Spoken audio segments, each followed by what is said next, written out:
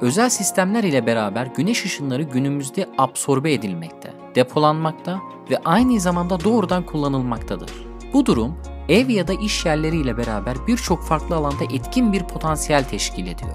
Özellikle doğaya zarar vermeyen ve yenilebilir enerji kaynağı olması ile her açıdan geleceği ışık tutan önemli bir kaynak olarak öne çıkıyor.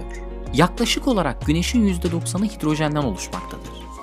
Hidrojen gazının çekirdekleri ve helyum çekirdeği ile füzyon üzerinden meydana gelen bir takım tepkimeler çok yüksek oranda enerjinin açığa çıkmasına olanak vermektedir. Farklı tepkimeler üzerinden meydana gelen güneş ışınları atmosfer sayesinde belirli bir oranda dünyaya yansımaktadır. İnsan sağlığını tehdit etmeyecek noktada yeryüzüne ulaşan güneş ışınlarının özel paneller ile elektriğe dönüşmesi ise güneş enerjisi olarak bilinmektedir. Başkanım gelişen teknoloji sayesinde güneş enerjisinin önümüzdeki yıllarda gelişimi hakkında düşünceleriniz nelerdir?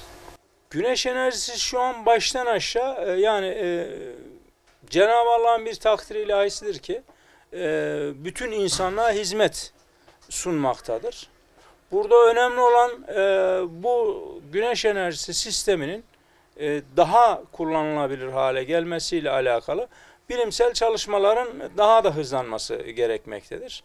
Yani dünya için, insanlık için Cenab-ı Allah'ın sunmuş olduğu bu nimetlerden e, faydalanmak açısından, e, bütün insanlığın e, faydalanması açısından e, üniversitelerimiz başta olmak üzere bütün bilim kurulu üyelikleri e, bu çalışmalara destek olunmalı, devletimiz destek çıkmalı ve daha çok e, ülkemizde güneş konusunda gerçekten zengin bir ülke.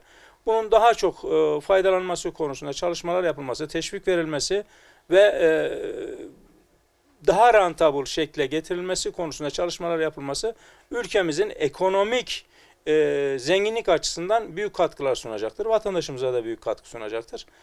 Aynı zamanda teknolojinin gelişmesiyle her geçen gün kullanım alanı artmaya devam ediyor. Endüstriyel alanlar, pek çok farklı özel sektör üzerinde fabrika, müstakil evler, binalar, soğuk hava depoları, tarım ve hayvancılık, akaryakıt istasyonları, oteller, hastaneler, aklınıza gelebilecek daha birçok yerler.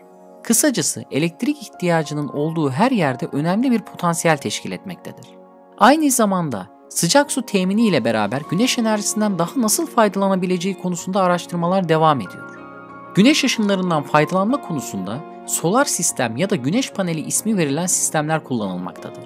Ülkemizin e, doğal ve tabi nimetlerinden faydalanarak ülke insanlığına fayda sağlayacak her şeyin altına imza atılması gerekiyor. Bunun takip edilmesi gerekiyor.